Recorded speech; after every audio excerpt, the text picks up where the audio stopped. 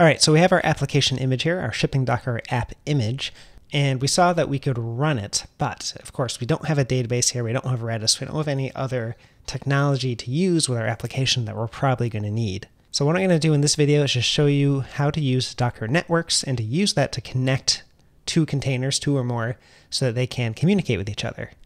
So a new command here is going to be docker network, and we can do the ls command to list out networks here. And these three are just the default networks you get out of the box with Docker. So what I'm going to do is actually create a new network, and I'm going to put two or more containers into it, and I'll show you how they can communicate with each other. So let's do docker network dash h for help. And we're going to do the create command and create dash h. And we have a bunch of options, but we don't really need to worry about them because we're going to use the default options. All we need to do is give the network a name. So I'm going to do docker network create. I'm just going to use the network type bridge, and bridge is the default, and all it does is make a network that local containers can use to communicate with each other. Local meaning they're on this one computer. So I'm just going to call this appnet just to give it a quick name. And we'll do docker network ls. We see that appnet exists, it's type bridge, scope is therefore local. Okay, so now what? I only have one container here to link to each other, right? So what I'm going to do is grab a MySQL container and we'll hook up our application container to the MySQL container so that they can communicate with each other. So let's head over to Docker Hub. And I'm going to go straight to the MySQL official page and we'll check out what they have here. And we're going to use MySQL 5.7. And what I want to do here is just check out some documentation of how to run it because they have specific things they want you to set. For example, some environment variables. So what happens with the MySQL container is the first time you spin it up, it uses environment variables to create a root password, to create a database out of the box, and any additional users you might want to use. So what I'm going to do here is just do docker run. I'm going to push it into the background, remove it when we stop running it. I'm going to give it a name. This is a bit new. I'm going to name it just my MySQL, and we'll see what that does for us. And then we can set our environment variables with a dash e flag. So I'm just going to give the root user a password of root also. I'm going to tell it to create a database of the name Homestead, which is going to be Laravel's default. We're going to create an additional MySQL user called Homestead as well, and that user will have a MySQL password of secret. And these are all defaults to my to Laravel. We're going to grab MySQL of tag 5.7. I don't care about the um, minor version here, just grab the 5.7 one, which is one of the tags available up here, 5.7 generically. And actually before that, I'm going to do dash dash network. We're going to tell it to join the network that we created called appnet. So this MySQL container will be inside of appnet. And I think that's it. I'm going to let it do its default thing that it does when it spins up. I'm not going to define a command. And of course, it has to download that image because I don't have it on my local computer yet. Great. Okay, so Docker PS, that is up and running. Docker image ls, we have our uh, MySQL 5.7 container.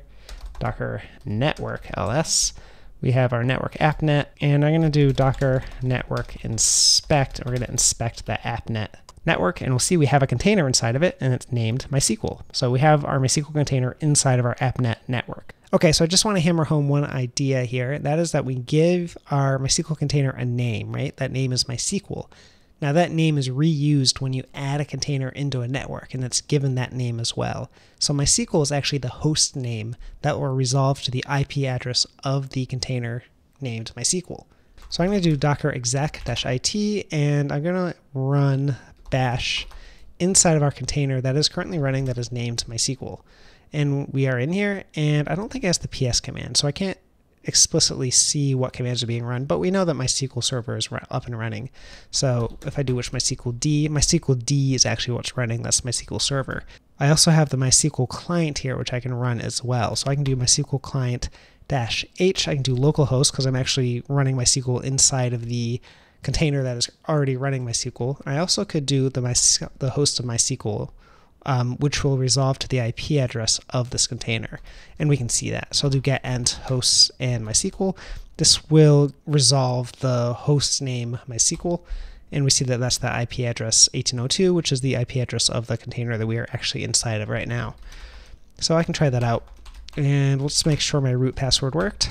And it did. Great. And I also had a user named Homestead and the password was secret, and that lets me get in as well. And if I do show databases, we can see that Homestead is indeed there. So the database is up and running and all set. So I only have the MySQL container running right now. Let's run another container, and that'll be my application container. So I'm going to name it app, which means it'll just have a name of app, but also if I, another container needs to talk to my application container, it can via hostname app if the containers communicating with each other are all within the same network. And we are. So we're going to add this container also into network appnet. I'm going to run it to the background. I'm going to remove it when we finish running the container. I'm going to bind to port 80 here in this case on my Mac, port forward that into port 80 into the container, share the same directories, and that should be it. Okay, perfect. So that's running. Docker PS, we see them both running. I'm going to do docker exec once again. I'm going to run bash inside of our currently running container that is named app. So getent hosts app. This is the IP address of that container. We can see it just got incremented by one. The MySQL container was 02, this is 03. And more importantly, I'm in the application container and it can see the host name for the MySQL container. Perfect. Uh, exit this do docker network inspect appnet.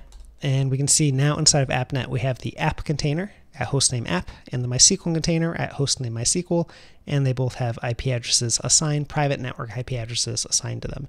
So in the next video, we will spin up a Laravel application and see how we can get these two containers speaking to each other.